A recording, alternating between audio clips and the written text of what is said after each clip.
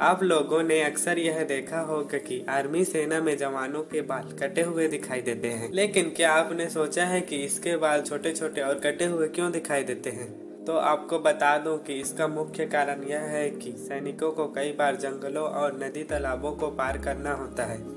छोटे बाल रखने से बाल जल्दी सूख जाते हैं, जिससे उन्हें सर्दी, जुकाम लगने का खतरा कम होता है।